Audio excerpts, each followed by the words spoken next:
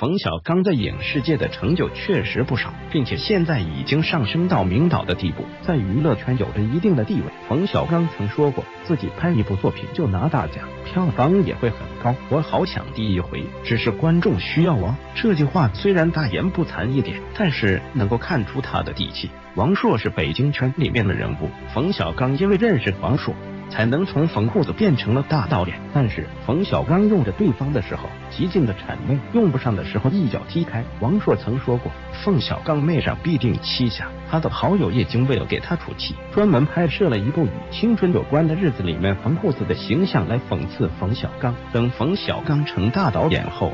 果真对着明星不屑一顾，甚至多次小刚好脾气，对这个对那个。这个时候，有个老艺术家评论冯小刚说，他配不上德艺双馨的称号。之后，冯小刚就利用各种交际手段，一步步往上走。最后还批判起人们群众，说现在之所以垃圾电影多，就是因为垃圾观众多。